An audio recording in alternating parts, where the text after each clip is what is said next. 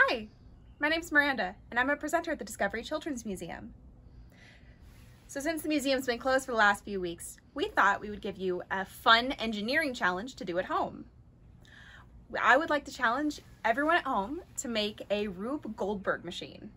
Now, Rube Goldberg was a Pulitzer Prize winning cartoonist and inventor. And he was famous for drawing these crazy, elaborate machines that actually accomplished very simple tasks, like, say, flipping a light switch or ringing a bell.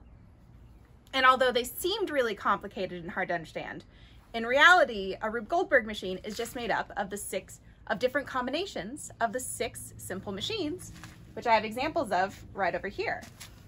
And those are pulleys. Oh, there's no nice way to do this one. Hopefully they don't fall flat. Levers like the back of my hammer. Wedges like my flathead screwdriver or a door stopper. Screws. Wheel and axles like on your bike or on a toy car. And inclined planes like the roof of my chicken coop. All right, so behind me, I have a Rube Goldberg machine that I made to help me water my strawberry plants. Let's see if it works. And while it's working, maybe you can spot some of the simple machines I used to make my Rube Goldberg machine.